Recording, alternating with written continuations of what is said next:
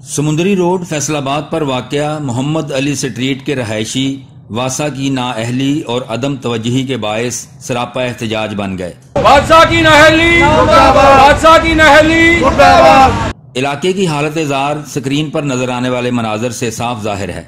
Sewerage का गंदा पानी यहाँ के मकीनों के लिए वबाल जान से कम नहीं।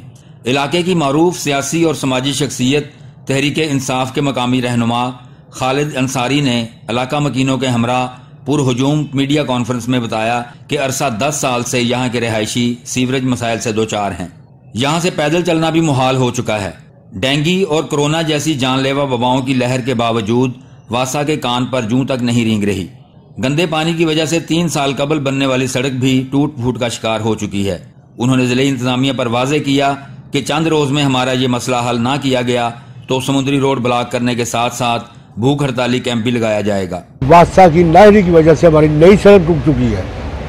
हमने ये नई सड़क बनवाई थी, लेकिन ये बादशाह के पानी, सीवरे के पानी ने सड़क को बर्बाद कर दिया। हमारा कौम का पैसा जाया गया है यार, ये मुझे बहुत तकलीफ़ है इसकी। सबका चेयरमैन सीसी उनासी राना मोहम्मद आरफ ने इस मौका पर खिताब करते हुए कहा कि सरकारी इदारों की मॉनिटरिंग के लिए तहरीक इंसाफ ने नाहल लोगों को तैनात किया, जिन्हें शहर के मसाइल से कोई गर्ज नहीं। बारहा शिकायत और याद दहानियों के बावजूद मोहम्मद अली स्ट्रीट समुद्री रोड के सीवरेज मिसाइल हल ना करना, वासा के दावों और कारकर्दगी पर सवालिया निशान है, जिसका फौरी तदारक ज़रूरी है।